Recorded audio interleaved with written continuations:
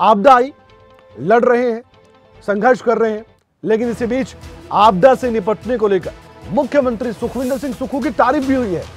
विश्व बैंक ने आपदा राहत कार्यों को लेकर मुख्यमंत्री सुखविंदर सिंह सुक्खू के प्रयासों को सराहा है।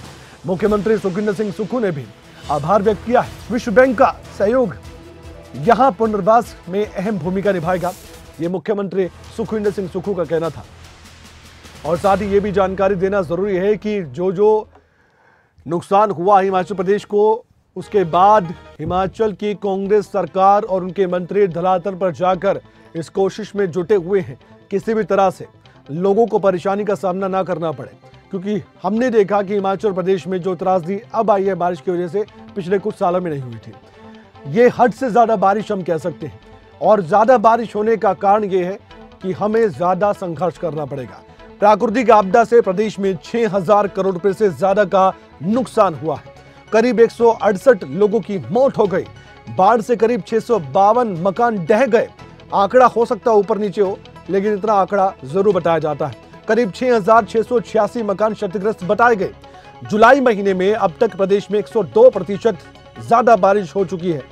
ये बहुत बड़ा प्रतिशत है बारिश के लिहाज से। मानसून सीज़न की बात करें तो अब तक 511 मिलीमीटर बारिश हो चुकी है। हिमाचल प्रदेश में बादल फटने की 35 के करीब घटनाएँ हुई। जल शक्ति विभाग को करीब एक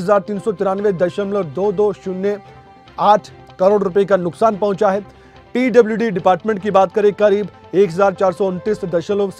करोड़ रुपए का नुकसान उठाना पड़ा। बिजली विभाग को करीब एक करोड़ रुपए का नुकसान झेलना पड़ा।